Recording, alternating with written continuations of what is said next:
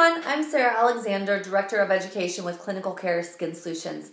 May is Skin Cancer Awareness Month, and what better time to talk about the signs of skin cancer, early detection, and prevention. Skin cancer is the most common form of cancer in the US.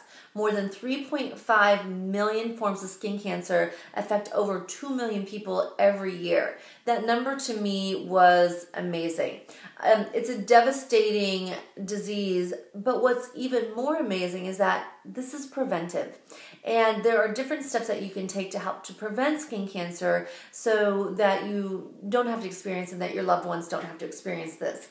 One in five Americans will be diagnosed with skin cancer every year. And when you think about five of your favorite people, five of your loved ones, the idea of losing somebody to skin cancer or um, or knowing that this terrible disease can affect somebody um, like I said, is devastating, but knowing that there are steps to prevent it is really uh, a call for action. So that's what we're going to talk about today: is how to know um, what the signs of skin cancer are and how you can detect these. Uh, a couple years ago, I met a woman, and she had um, been diagnosed with skin cancer, and she was a salon owner, and I was really curious to hear her story. So I want to share the story with you because I think it's pretty fascinating. Um, I asked her where her skin cancer was, and she was she was a little embarrassed, and she said it was actually like on my on my booty. And I said, okay. I said, well, how did you know what to look for, and how did you know that it was skin cancer? And she said it was actually my husband who brought it to my attention, and you know he said, honey, you've got something back there. It's starting, you know, it looks like it's starting to change shape. She put it off and she put it off, and finally he said, uh, you need to go have this looked at. And sure enough, it was skin cancer. So if I could encourage you to do anything, um, check your skin, but also check your partner's skin, check your kids' skin. Um, there are areas of the body that sometimes we just don't look at. So um, here are the things that you're looking for. It's really simple. It's A, B, C, D, E. A is for asymmetry. Symmetry is balance, and when you're looking at moles or any type of discoloration on the skin, you're looking for something that is symmetrical. So it's balanced on each side. If you have a mole that's like this on one side and like this on the other side, obviously that's not symmetrical. If you draw a line through the middle of your mole, it should be balanced on each side. So it should look the same on each side. Like I said, if it's not balanced, it's time for you to have that looked at. So symmetry is very important. B is for border. Benign moles, which are moles that are um, safe moles, normal moles, uh, they should have an even, smooth border. So if you're looking at a mole or um, a skin discoloration or skin abnormality on your arm or on your leg, if you're noticing some scallops, some notching, some raggedness around the edges, there's your warning sign. It's time for you to call the dermatologist, call the doctor, and uh, schedule an appointment to have that looked at. C is for color, and your moles should be pretty even in color. Normally, moles are a light tan or a light brown.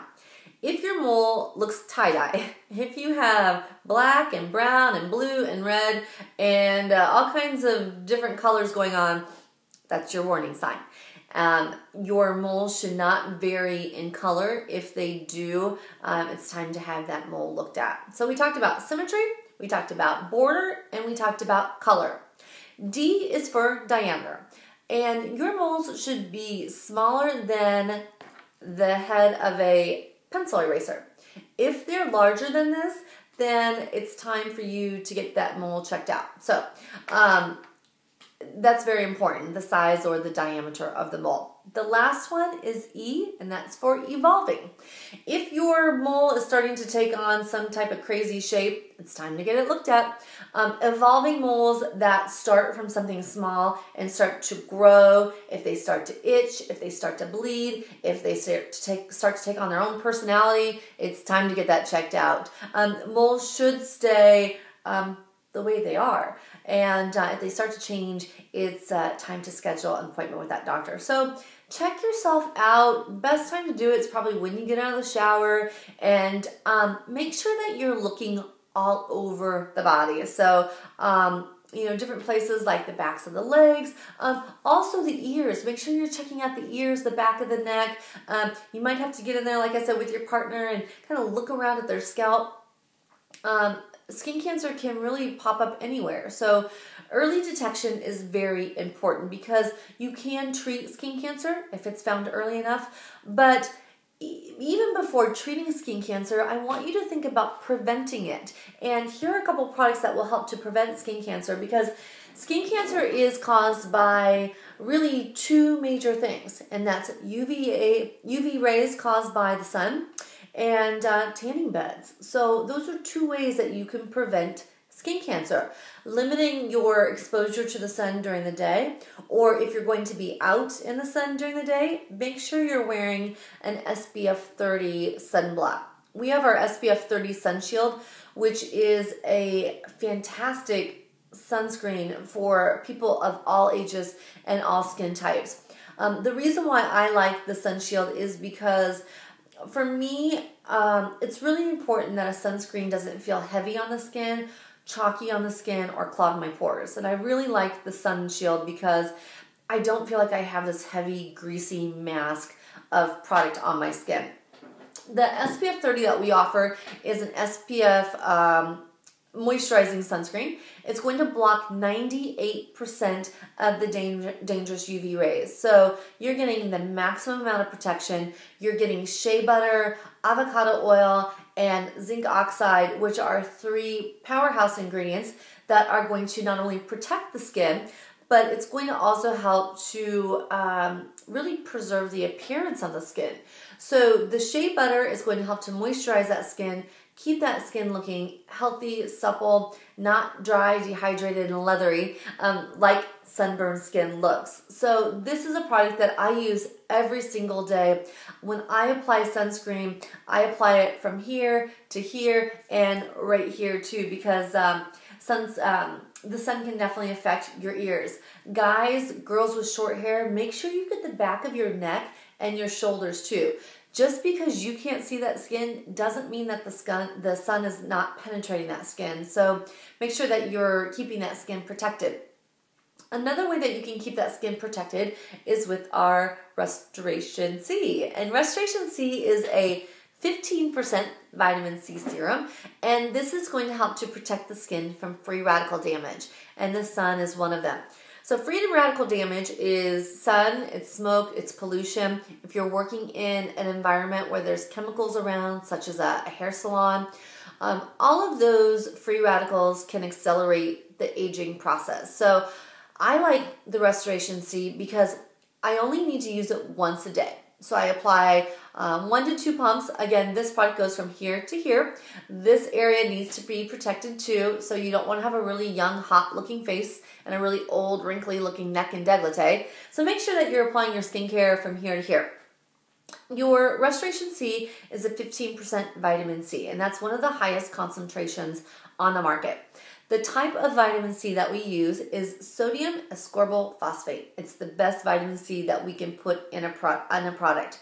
It's a stabilized form of vitamin C. So what that means is when it comes to you, it's at its maximum potency.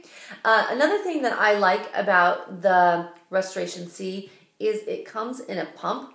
So the product comes out, nothing goes in that product. So there's no air um, that gets absorbed into that product. So it keeps that product um, like I said, at its maximum potency. Um, this is going to make your skin feel brighter, tighter, and more luminous. We just got back from Mexico, and um, I noticed that if I'm out in the sun too long and I'm not diligent about putting on my sun protecting products, I will start to get some discoloration around the forehead. And one of my friends, she just got back from Mexico too, and she said, Sarah, what do I do about these dark spots? This is it. This is your skin protecting serum to help to protect your skin from UV damage and um, the hyperpigmentation that can be caused by the sun. So these are my two favorite products. You can find these products uh, at your favorite salon. You can message me if you're looking for a salon. I will definitely put you in touch with a licensed professional that help can help prescribe you these products. You can also find us at clinicalcareskinsolutions.com. If you have skincare questions, if you have skincare challenges, please message me. You might be my next great topic for my next video. And don't forget the early detection signs of skin cancer the A, B, C, D, and E's symmetry, border, color, diameter, and evolving. Take care of your skin and take care of yourself. Bye bye.